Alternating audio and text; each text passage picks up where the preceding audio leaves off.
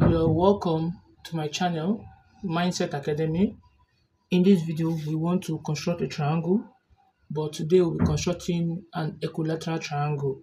And the question goes like this, it says, construct an equilateral triangle given side what?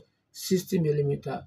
We know an equilateral triangle have all its sides and angle equal. So when we are given one side, we are given the entire side. So an equilateral triangle is also a what? A polygon, right? Now what I'll do is I'll just take my my ruler or my t-square. I'm going to draw an horizontal line this way, in this manner. You can see that. And I'll pick a point on that line. Let's say this is a point. I'm picking point A, right? I will told the length of the one side given to the what? Um, 60. So from here to here, it's given to me 60. This is 60 here. So that will be the first. This AB now the other side is just I'll just take my compass take it to radius AB right? And I'm going to draw an arc this way. And I'll come to A I'll draw another arc this way right? So where they meet will be my point what? My point C. So I'll just take my rule and I'm going to join A to C. And I'm going to join um, B to C this way. Then I'm going to close up A to B this way. Right? So this is my equilateral triangle. Now we say an equilateral triangle have all its sides equal. So it means that if I should measure the distance from this point to this point, it will be equals to what? 60. Now if you look at this, from 0 to 6 is given to be what 60, so that is AC.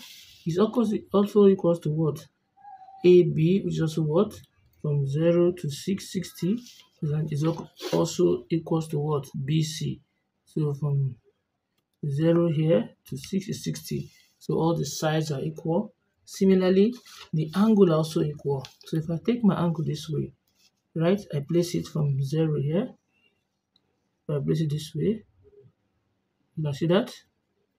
So my and my point here is meeting at point B and this is my line 0 so if you look at it 0 we are moving to this point here. This is 60 so it means that the angle from this point to this point here is given to be what? Is given to be 60 degree 60 what 60 degree. Similarly the angle from here the angle from this point I come here also and I place it this way take my point here to this point B right? You discover that um, the angle from here this is zero sorry. So this is zero right this is 10 20 30 40 50 60 so the angle between here to here is also equals to what? 60 similarly here also be what? 60 right? So i'll just place my compass.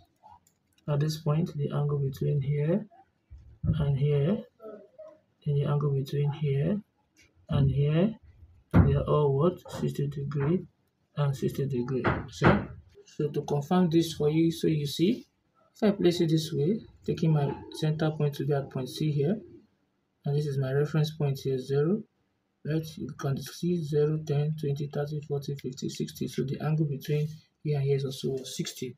So if you have actually found this video helpful, please don't forget to what subscribe, like, and also what share the video. Thanks for watching.